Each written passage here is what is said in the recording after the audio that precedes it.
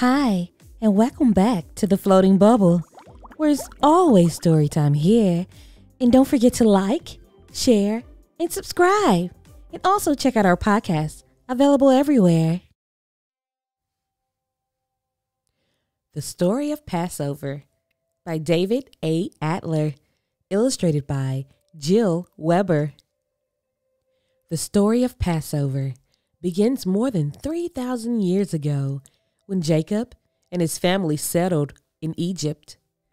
Jacob was called Israel, and his family were called the children of Israel. They were also called Hebrews because of the language they spoke. Many years passed. Jacob and his children had all died.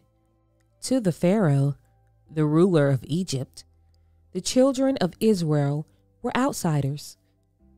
He was afraid that one day they would rebel. To control them, he made them slaves. He forced them to do hard work. They were beaten, some were killed. The wise men of Egypt told the Pharaoh that one day a Hebrew boy would be born who would lead his people against Egypt. They couldn't tell him which boy it would be. So Pharaoh decreed that every newborn Hebrew boy must be thrown into the river and drowned. One boy was saved. At first, his mother hid him. Then, when he grew too big to hide, she placed him in a small basket. She put the basket in the river. The baby's sister, Miriam, hid nearby to see what would happen. A princess, the Pharaoh's daughter, found the baby. She named him Moses and planned to raise him as her own child. Miriam ran to her. Should I get you someone to help you with the baby? Yes, the princess said. Miriam brought the baby's mother to work in the palace. Moses was adopted by the princess, but he knew he was one of the children of Israel. When he was a young man, he saw an Egyptian beat a slave.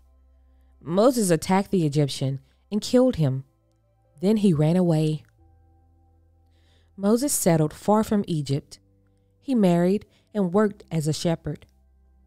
One day, while Moses was watching his sheep, he saw a burning bush. There were flames, but the bush wasn't harmed.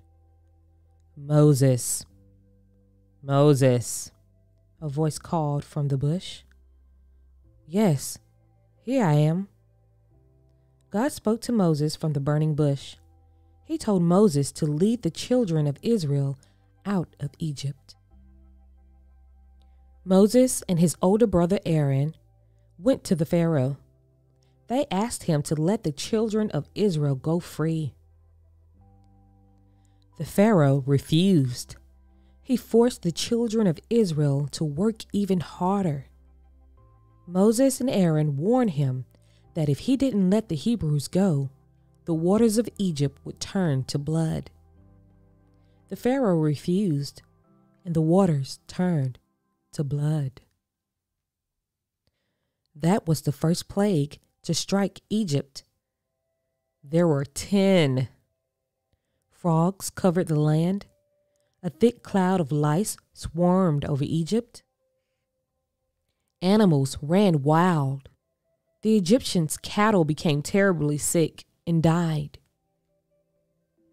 Painful boils broke out on the skin of the Egyptians. Huge hailstones mixed with fire fell on the land a swarm of locusts attacked Egypt. It was as dark as night in the middle of the day. Then came the tenth plague. One by one, the firstborn Egyptian sons died. The angel of death only visited the homes of the Egyptians. He passed over the homes of the children of Israel the Pharaoh was frightened. He was a firstborn son.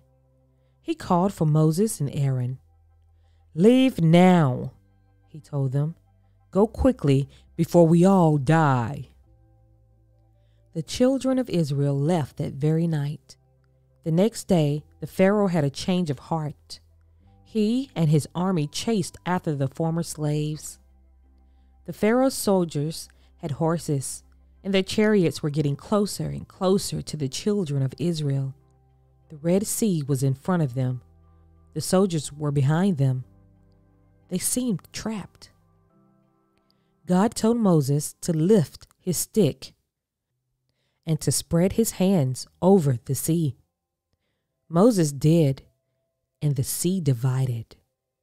The children of Israel walked through the sea on dry land. The Pharaoh's army followed them. Then, when the soldiers were in the midst of the sea, Moses raised his stick again. The waters flooded together. The Egyptians drowned, and the children of Israel were free. Thanks for watching. See you next time. Bye.